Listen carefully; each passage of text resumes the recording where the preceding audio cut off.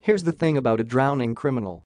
While his most naive criminal allies might be willing to jump in and try to save him, his savviest criminal allies have no intention of drowning with him. Accordingly, Mitch McConnell just revealed that he's going to let Donald Trump sink. Mitch McConnell has announced that next week the Senate will vote on the resolution to cancel Donald Trump's national emergency and that the measure will pass. By rule, McConnell could have dragged this vote out a little further than that. And he could have used his considerable influence over nearly every Republican senator to try to cajole them into siding with Trump on this legislation. But McConnell simply isn't willing to use any of his own leverage to help bail Trump out of this. He isn't even willing to try. Dot sure, Donald Trump can, and almost certainly will, veto the resolution. There don't appear to be nearly enough votes to override the veto.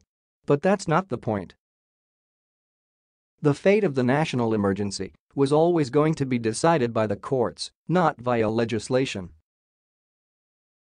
The whole point of this Democratic Party-sponsored bill was to weaken Trump by getting the Republicans to start formally distancing themselves from him, and sure enough, it's done precisely that.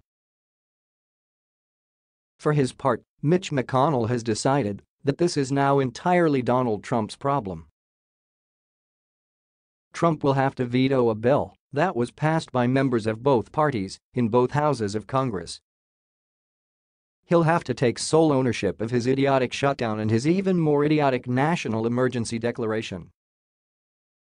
More importantly, 13 House Republicans and at least four Senate Republicans are voting against Trump on something that's crucial to Trump's survival.